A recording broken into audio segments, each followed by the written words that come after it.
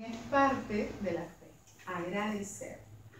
Ah, es interesante leer ah, astrólogos, pero científicos, con respecto al eclipse de anoche, ¿no? En que se debe agradecer lo que se tiene. Nunca se agradece el hecho de tener, tener una casa, tener alimentos, saber que hay alguien que te espera, a una ducha con agua fría, tibia, lo que quieras, ¿no? Un refrigerador, o sea, cosas que no solemos tomar en cuenta para agradecer, pero las tenemos. ¿Y qué pasaría que Dios no lo quiera que haya un episodio de esos nefastos y perdamos todas esas cosas? Dios, ¿cómo nos sentiríamos? Recién diríamos, ay, pero qué importante el refrigerador. Lo que le está pasando, quizás tú vives en el Ay, ¿Vives en la zona de conflicto o no? Arriba. Más arriba. Claro. O sea, tu zona no está declarada en emergencia. Toda la zona está declarada en emergencia. Todo San Juan de Lurigancho. Todo San Juan de Lurigancho, desde la entrada hasta el fondo, todo. Así no hayan tenido problemas con la. Así no hayan tenido problemas. ¿Así? ¿Qué tal está todo? ¿Bien? No, o sea, ahora. Tu casa no ha sido invadida por las aguas. No, pero toda la zona está cerrada. O sea, no hay entrada ni salida. ¿Y cómo haces para salir? Caminas cuatro cuadras para salir hacia arriba y de ahí recién sales a la vez. ¿Y tampoco tienes agua ni luz? No. Agua, luz ya llegó, pero agua no. Agua hay que en las noches, en las madrugadas, vas, bajas a recoger agua. Ah, no cae ni una gota por los caños. Nada. Vienen los aguateros de la madrugada a las 2, 3 de la mañana. Y eso hay que. O sea, eso es así, ¿hace cuánto? ¿Desde que ocurrió ese evento? Sí, desde que ¿En todo San Juan de Lurigancho? Sí, en todo San Juan de Lurigancho. ¿En todo? Ah. No hay agua en todo San Juan de Lurigancho. No, todo San Juan de Lurigancho es estado de emergencia. Todo, todo.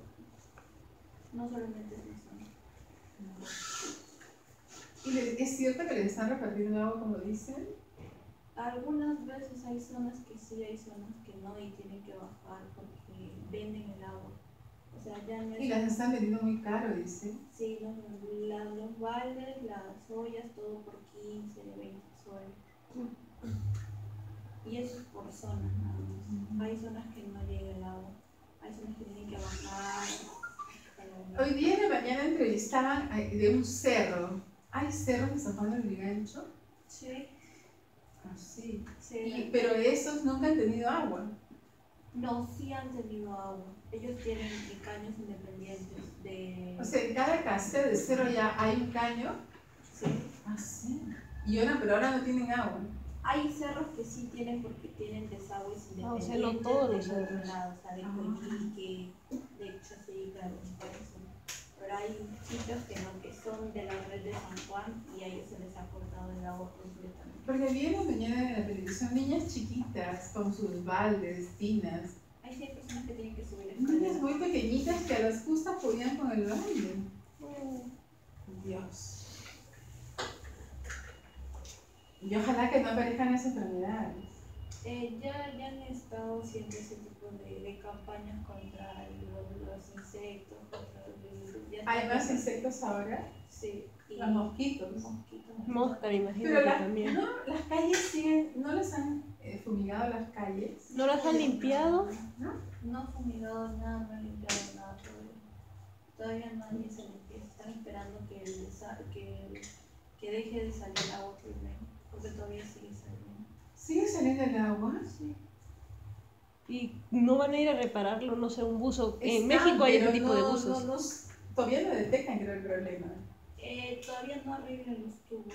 O sea, al menos hay como. Se han vuelto a romper. ¿Y cómo se van a deshacer del agua? ¿Ah, se han vuelto a romper? Sí, están volviendo a sacar todo, porque hay tuberías que hasta. O sea, eh, realmente no conocemos la realidad. Va a volverse como Chernobyl, pero por drenaje. Las tuberías de San Juan ya están muy gastadas. O sea, ya tienen su fecha de caducidad y, tienen que volver a hacer todas esas reconexiones. 62 meses ha sido Claro, no es lo que el presidente cuando va le dicen, sí, la otra semana está todo listo, mentira, porque eso va a demorar bastante tiempo. Sí, dos meses. E incluso algunos dicen que exactamente no saben qué es lo que pasó. y que están cavando para ubicar dónde está el problema. Bueno. Entonces, volviendo a esta situación de enfermedad, ahora los cuidados paliativos, que son tan, ahorita están siendo realmente tomados muy en cuenta, sobre todo en los casos de enfermedades avanzadas y con una esperanza de vida limitada.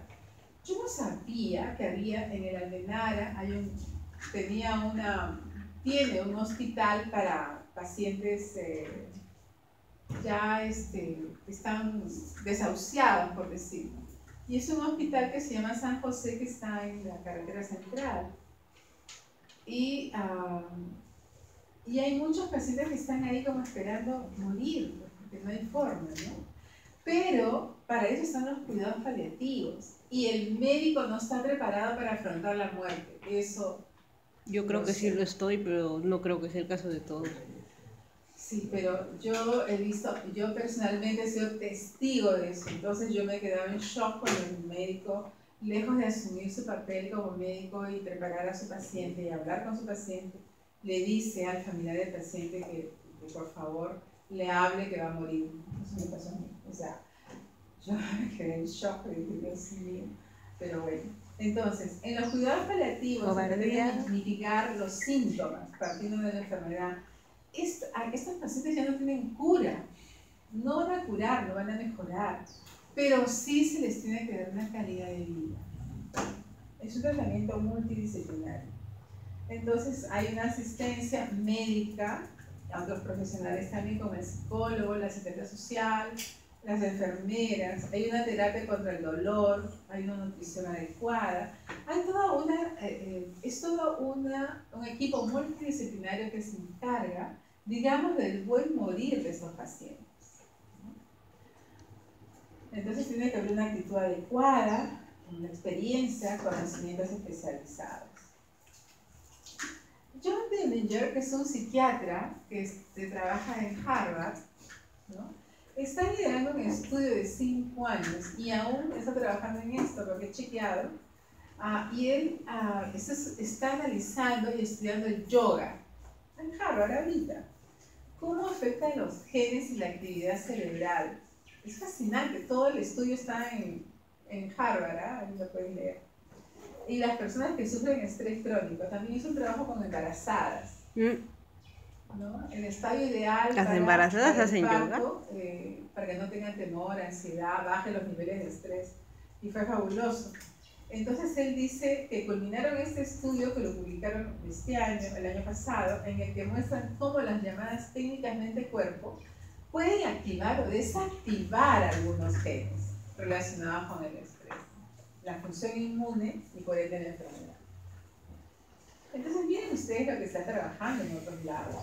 Entonces, él dice, con respecto a la meditación hay un efecto biológico real pero yo les digo, ustedes que están de vacaciones, ahora hay tantos centros de yoga, ya, no practiquen yoga si no quieren, pero aprendan a meditar, aprendan.